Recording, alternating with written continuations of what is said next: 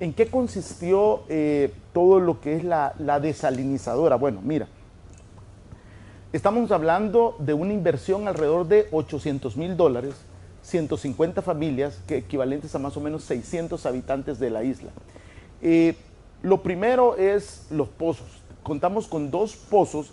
Es un medio híbrido entre un pozo artesanal y un pozo profundo, 5 metros el primer desafío, vamos a hablar de desafíos y te voy a ir llevando en, el, cronograma de todas nuestras etapas. Solo Madresal. Madresal Jiquilisco, correcto. Entonces, tenemos dos pozos perforados a 5 metros. El primer desafío es que tú tienes una capa muy delgada de agua dulce. Tuvimos que traspasar, romper esa barrera, porque la demanda era mucho mayor. Entonces, estás hablando de un ambiente totalmente salino, agua salada.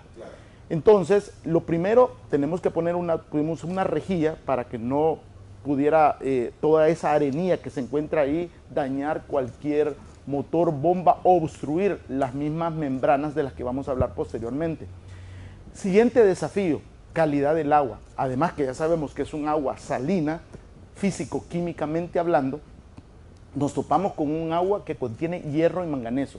Organolépticamente, esto lo que significa es que el agua lleva un color rojizo. Entonces tuvimos que poner un filtro de arena verde, antracita y arena, para remover esos materiales. Y la belleza, el corazón de mi planta es un proceso físico-químico que se llama ósmosis inversa.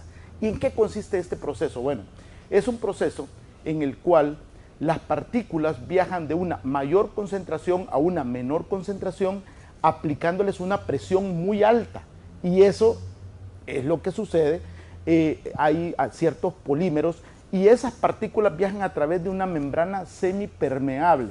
Eso quiere decir que, en el, que mis concentraciones se equilibran. Al otro lado tengo una concentración de agua sin sal y la que tengo aquí con sal o salmuera se regresa al mar en concentraciones menos que la del mar mismo. Estamos hablando de 15 mil, 20 mil partes por millón versus la concentración de sal que puede tener el mar, arriba de 30 mil partes por millón.